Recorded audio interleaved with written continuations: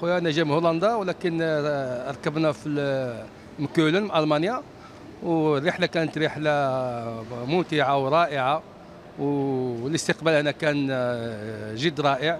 والحمد لله على على كل حال وشكرا. لا أنا كنجي تقريبا كل جوج سيمانات أنا تقريبا كل جوج سيمانات كنسافر كن- كنمشي وكنجي. لا الاستقبال دائما كيكون مزيان و... حاج لاباس عليك كلشي مليح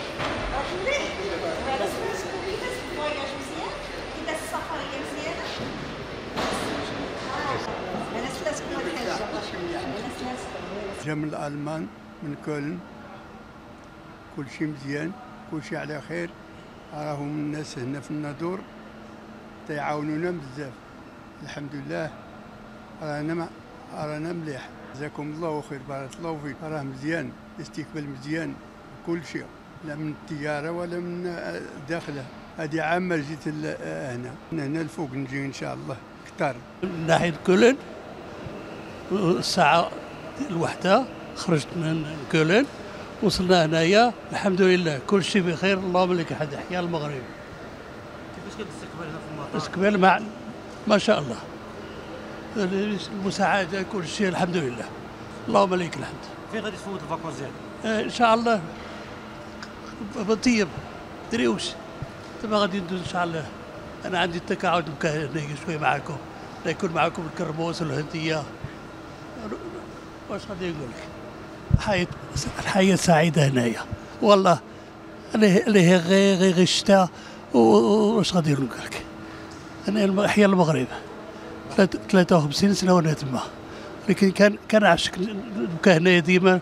ولكن تما عندي ولادي عندي أحفادي. الحمد لله.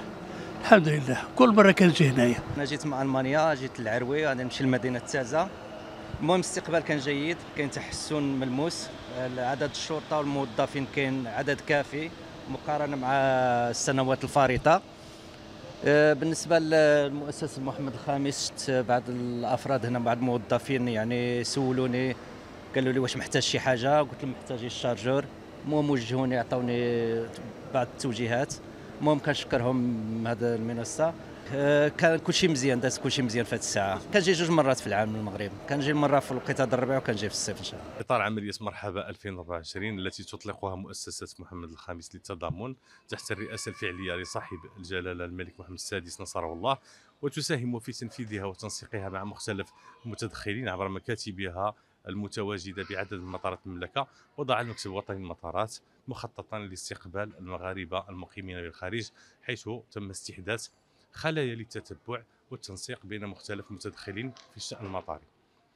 وفي هذا الإطار تم على مستوى مطار ناظور العروي الدولي تجنيد كل الطاقات والموارد البشرية والمادية من أجل ضمان انسيابيه مرور المسافرين داخل المطار كما تم التنسيق مع مختلف الشركاء المطاريين لتعزيز فرق العمل على مستوى نقاط المراقبة الأمنية والجمركية والصحية وكذا الفرق التابعة للمطار مكلفة بالإرشاد وبتوجيه المسافرين.